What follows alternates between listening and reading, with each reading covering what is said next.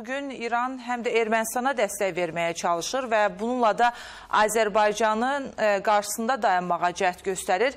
Həmin ərazidə isə Qarabağda isə çox e, maraqlı proseslər yaşanır. Ötən gün Kalibr Az nəşri də müəyyən məlumatlar paylaşdı. Xüsusilə də Xocalıda təlimlərin aparılmasına dair bəzi görüntülər istəyərdik ki, az sonra da ekranlara gətirilsin Evet. və separatçılar müxtəlif təlimlər keçirməyə cəhd göstərirlər. Bununla da İlkin rəqəmlərə görə 10 minə yaxın hələ də qanunsuz erməni silahlı birləşməsinin orada olduğu bildirilir. Kalibiraz Bəli. nəşri də bu barədə yazıb və Azərbaycan prezidenti də bundan öncə ifadə etmişdi ki, hələ də orada qanunsuz erməni silahlı birləşmələri qalır.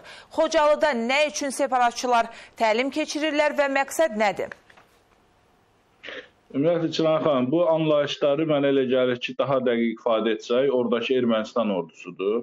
Yəni üç tərəfli bəyanatda da qeyd olunur ki, istənilən növ silahlı birləşmə, yəni o Ermənistan e, silahlı birləşməsi e, bizim ölkəni e, tərk eləməlidir, ölkənin ərazisini və e, biz bir mənalı şəkildə Xarici İşlər Nazirliyinin də bəyanatlarında e, xüsusi vurğulanır ki və o, o ifadəni görür ki, baş verən proseslərdə Ermənistan tərəfi məsuliyyət daşıyır. Yəni burada Ermənistan tərəfinin e, nizami ordusundan, konvensional ordusunun Azərbaycan ərazisində mövcudluğundan söhbət gedir.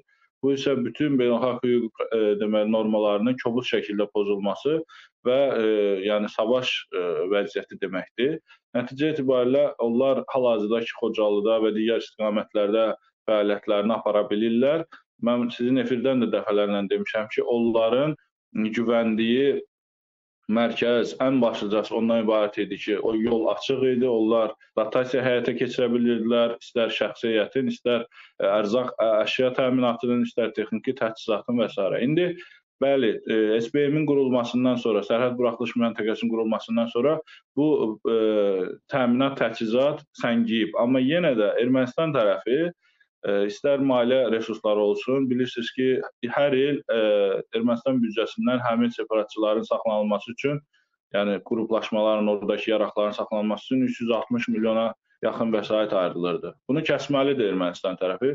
Bir mənalı şəkildə onlara təzyiqlər olunmalıdır ki, siz bu ə, demək dəstəkləri kəsin və ə, bundan əlavə qeyd etmək istəyirəm ki, ə, Rusiya ə, demək ki, ərzaq əşya anbarları var ki, o həmin o silahlı yaraqlı birləşmələrin onlar partladılmalıdır dərhal və xüsusilə mən deyim ki, onlar maskirovka olunublar Rusiya sülhməramlı kontingentinin simvolikası ilə və yuxarıdan havadan baxanda onlar Armiya Rusiya yazılır üstündə, amma içində isə həmin kazarmalarda olsun, həmin ə, ə, anbarlarda olsun, ə, o 10 min nəfər silahlının saxlanılması üçün lazım olan təminat, təchizat yerləşir. Və bu baxımdan biz kəşfiyyat diversiya fəaliyyətləri aparmalıyıq və bu proseslərin bir an öncə qarşısını almalıyıq. Xüsusilə bilirsiniz bu Moskva görüşü ərəfəsi və Brüssel görüşü ərəfəsi və yaxud da sonrası ə, silahlı qarşıdurmalar, Azərbaycan tərəf silahlı atəş ə, demək təxribatları həyata keçirilir.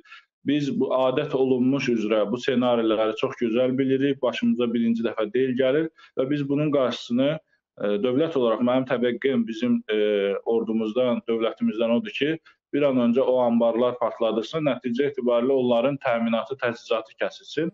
Məcbur qalacaqlar o Qarabağdakı əvvəl cığır açırdılar özlərinə, torpaq yollar vasitəsilə yol axtarırdılar. Biz indi o yolları e, o- onların qaçıb getməsi üçün oradan e, sovulması üçün istifadə e, olunmasına e, demək ki, e, şərait yaratıb sövq etməliyik ki, necə ki Siçovul e, həmin e, dəlikdən qaçmaq istəyir.